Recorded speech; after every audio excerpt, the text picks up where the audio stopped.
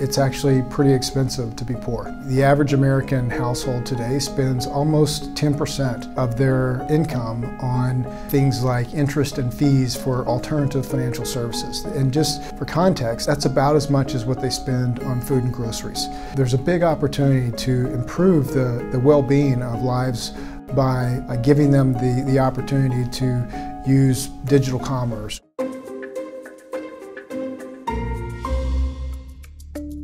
There are 2 billion people in the world that are what we would describe as underserved financially. The unique aspect of those 2 billion people is that roughly 60 to 70% of them have a mobile phone. And with a mobile phone, you can put all of the power of a, of a bank branch in the palm of their hands. In Mexico today, many people receive international money remittances. The process of doing that through the traditional means entails going and waiting in line, going to and from the physical location, and that can take as long as 45 minutes. If you look at that over the course of someone's lives, that's 15 days that they're spending either going to a place to receive their money or, or going back home or waiting in line. With digital banking, they can do that in a matter of, of minutes at roughly half the cost of traditional measures.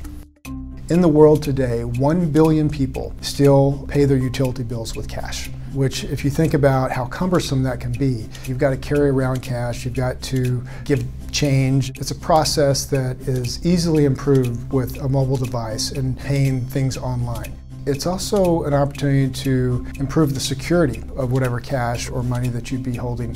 Roughly half the adult population in Kenya has made a person-to-person -person payment, either sent or received money through a, a mobile phone, a digital device. And they're not having to go around and carry cash and risk maybe theft or other things like that.